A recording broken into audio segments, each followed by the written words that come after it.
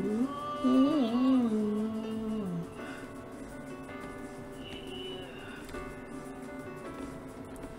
The feelings of safety. So I don't go shooting where your heart bleed. Cause you take the bullet trying to save me. Then I'm left to do what making you bleed. And that's a whole lot of love, ain't trying to waste it. Like we be running them out and never make it. Oh shit. Alright. so today's video is about basic conditioning. And we gonna make it quick. Add this to the, the videos of Tekken quickies since y'all got attention spans of two year olds. It's 2020. I know it is what it is.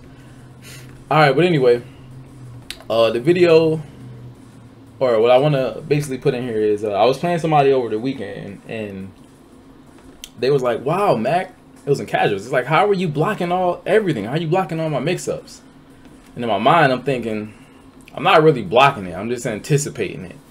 And I'm gonna tell you why right here. A lot of people gonna fall into this range, but hopefully we all grow out of this. I think it's the the low to mid level tier of player, which is probably where I'm at. I think I'm slightly above middle. But at any given day, I will body JDC and E at the same time. I'm the GOAT. I'm actually the GOAT. Anyway, uh, what I want to say is at the low to like mid tier players, they do this thing where they'll go for a move or mix up. They think they're conditioning you, quote unquote, by doing a move two times, maybe three. I call it the rules of twos, rule of twos, or the rule of threes. What they'll do is they'll go for a mix up. So let's just say you sit down in tournament, you ready for your pools. You're going against Pink, Pink and Blue Bob 47. Shout outs to Limit. you're going against Pink and Blue Bob 47. And this man is just going wild. He's hell sweep pop kick, hell sweep pop kick. You block both of them.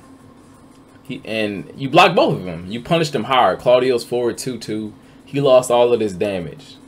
In the low to mid tiers mindset, he's like, I gotta do something to compensate. So the next time I'm gonna wave dash, I'm gonna do a hell sweep.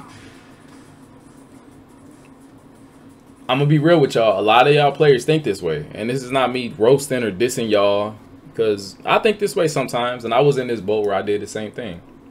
This is so y'all know this. This is not. you- You're not conditioning anybody this way. So if you're doing that, you're just killing yourself. The rule of twos, rule of threes apply to most low to mid level players. It's not a mix up at that point. Conditioning, uh, it's probably easier to explain it on the wall, even though granted you won't always be on the wall. Oh, y'all like that broken pad wave dash? My pad been broke for three months. But anyway, conditioning um is not just a simple mix-up like that. It's making your opponent believe you're going to react a certain way and or do a certain move anytime pretty much you're in a situation like this. So let's just say I, I got a wall combo. I took Claudio to the wall, or my bad. Pink and Bob fan 40 or blue fan 47 took Claudio to the wall, and every time he gets him on the wall, he does sidestep one plus two. I mean, I'm talking about one whole game. He did this thing the whole time. Now, it's not about it hitting. People fall into this thing with conditioning. It's not about it always hitting. That's the point of conditioning. You got to make your opponent think that that move is coming to open up the gate gateway for other moves. So what you want to do is show it enough. Just show it enough. It doesn't have to be. It doesn't have to be two and three times. It could be once. Really, that's the. It's just. It, it depends on your opponent's mindset too. And don't duck on the wall. So if somebody is doing this and uh, this is the alternate option, why are you ducking? I get it. I get it. That's 28 damage. You eat that, you losing half life with Bob. Like, what are you doing? Don't duck on the wall, man. What's wrong with y'all 2020 people? All these damn kids, man. Y'all tripping. But anyway, it's about seeing the move enough times just to make your opponent believe that another move is not coming. But on the flip side, in higher level, quote unquote, after they see a move so many times, they're going to expect the the alternate option. They're like, wow, he hasn't done this in that long. He's probably going to do something else next time around. So it, it works both ways. It's, this is not going to be uh, a clear cut answer how to deal with every mix up because ultimately it's sometimes it's just a guess, but you got to try to get in your opponent's mind in that regard.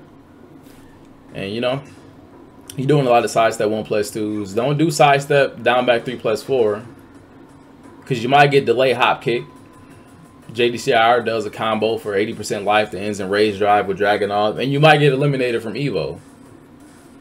That didn't happen to me. But let's just say if it was a pink and blob, pink and blob, pink and blue Bob fan 47, it would have happened to him. Fuck you, JDCR. All right, I'm done. Uh, that's the basically the concept of this video. Don't fall into the simple rules of ones and twos and threes and